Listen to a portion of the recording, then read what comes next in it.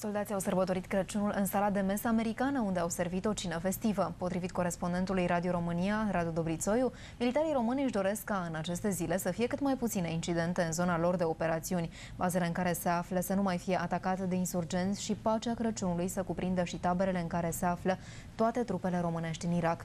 Contingentul românesc din Irak are aproape 485 de militari. Principala forță operativă, batalionul 32, se află în baza americană Talil, în apropiere de orașul Nasiria. out.